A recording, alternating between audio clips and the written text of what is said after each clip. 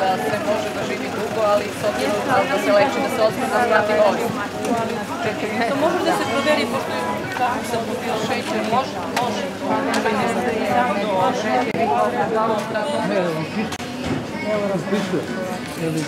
Upisuj, upisuj.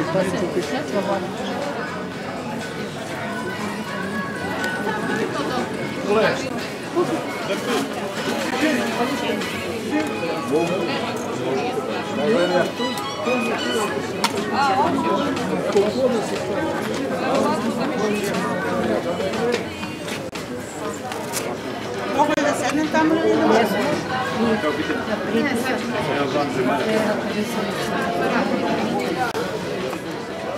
Gracias.